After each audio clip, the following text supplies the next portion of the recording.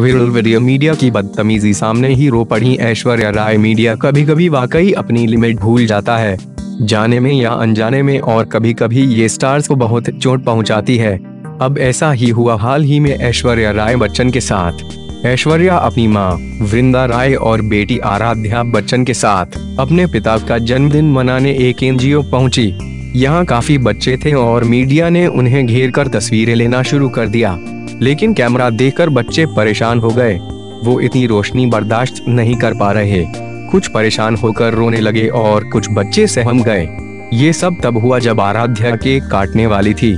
Photographers ने काफ़ी शोर मचाना शुरू कर दिया और फ़ोटो लेने के लिए परेशान करने लगे। कुछ फोटोग्राफर सामने आकर बच्चों की नीचे झुकने और बैठने के लिए कहने लगे, जिससे बच्चे परेशान होने लगे। बच्चों को परेशान होता देख ऐश्वर्या ने सबको चुप रहने का इशारा भी किया लेकिन किसी ने नहीं सुनी। ऐश्वर्या बार बार मना करते हुए रो पड़ी और कहा कि मुझे समझ ही नहीं आता कि तुम लोगों को कभी चीज़ों की अहमियत क्यों नहीं समझ आती।